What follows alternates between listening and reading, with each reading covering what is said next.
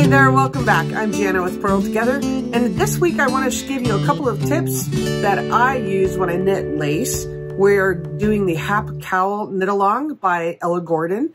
We've been enjoying the garter stitch section and all the TV knitting that can go along with that. That's been pretty meditative and relaxing and a lot of fun. Now we're getting into the lace section, and this is a super simple feather and fan lace. It's also sometimes called the old shale which I believe was the original term. Somebody will correct me on that if I'm wrong, but it's very similar. The two patterns, if they're not exactly alike, are very, very similar.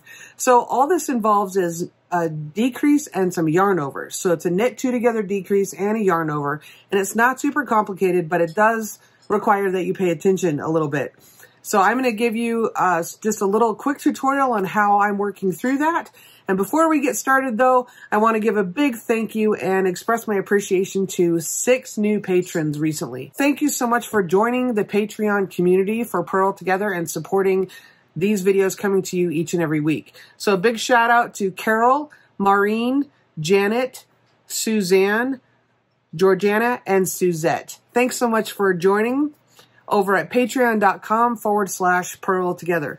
Check it out and you can see what benefits I'm offering for your small monthly pledge. All right, let's get to it. All right, as you can see, I am in the middle of my lace row, but I'm at the beginning of the chart.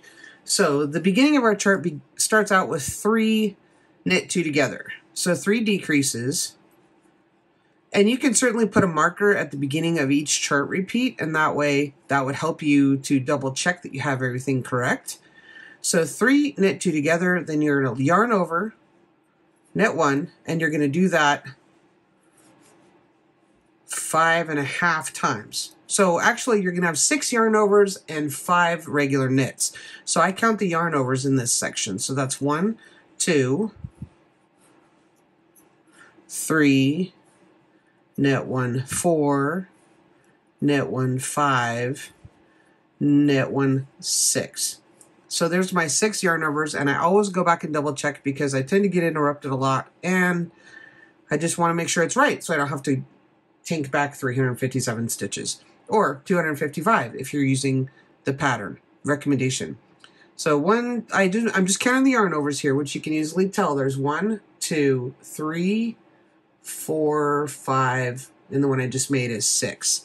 And then we'll have six knit two togethers because you'll have three more for this chart repeat and then three at the beginning of the next chart repeat. So you're going to do three and then place your marker if you're using markers to delineate your chart repeats. Or since I'm not, I'm just going to count six of those knit two togethers. And this uh, yarn is sometimes slightly splitty, so I'm just being careful about that. Since I'm talking, I need to go back and double check. Okay, so there's my last yarn over. You can see that. There's my last yarn over right there.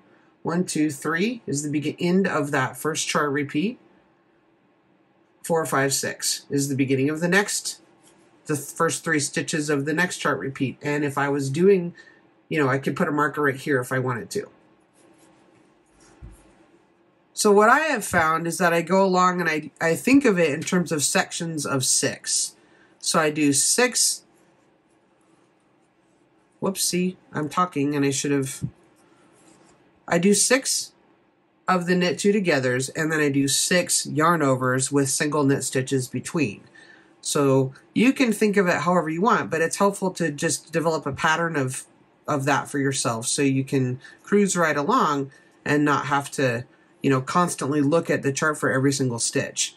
Okay, so you can easily tell there's my yarn over. One, two, three, four, five, six. And then I'll have my six knit two together decreases. Okay, so that's easy enough. And then the rest of it is just back and forth garter stitch and Netflix knitting. So that's pretty cool. So I'm really enjoying how this is turning out, and I'm liking using the minis. Um, so that's lovely. So uh, next video, we'll have an interview with the designer, Ella Gordon. So that'll be a lot of fun later this week. The only other thing I'll mention is at the beginning of the row, um, I'm leaving a good you know, six or seven inch tail here because it's, you know, it's sloppy at the beginning. You can tell that. And so I've just been kind of giving everything a little tug and I go back and, you know, I will um, snug all this up when we do the sewing, but just make sure to leave yourself enough of a, a tail that nothing's going to pull out. Like, right? You wouldn't want to leave just a, a one inch little tag here. You know, leave yourself enough of a tail that we're going to use to sew this together with. Now, the other thing I'll point out is if you go along, you don't come out quite right at the end. Like, let's say instead of having uh, three knit two togethers at the end, you only end up with two or you end up with four, or obviously something's wrong. That's one advantage to having stitch markers between each repeat is that you can physically go back and look at what you're doing and say, okay, well, I have six yarn overs and I have six two to knit two togethers. And I know that this section between this marker and this marker, these 17 stitches I know are correct before you move forward. So that can be a real time saver, even though it seems tedious at the time, to check each section as you knit it. It just eliminates uh, potential tinking or tearing back later. And it also helps to, you to learn to read your knitting as well. And I will say that even though I don't specifically have markers between each section of 17, I definitely am still going back and double checking and counting my yarn overs and my knit two togethers. So even though I don't have markers delineating those sections, I'm absolutely double checking each time. Okay, I hope you find these videos helpful give me a thumbs up, like and subscribe to the channel. Head over to Patreon and become a patron if you're able to. If not, simply sharing with your friends, giving a thumbs up, help, all of it helps. So thank you so much for watching. Keep in mind, you're welcome to join the Facebook and Ravelry Purl Together groups. I'd love to see your photos over there.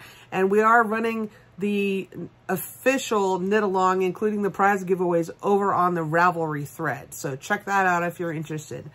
Thanks for watching.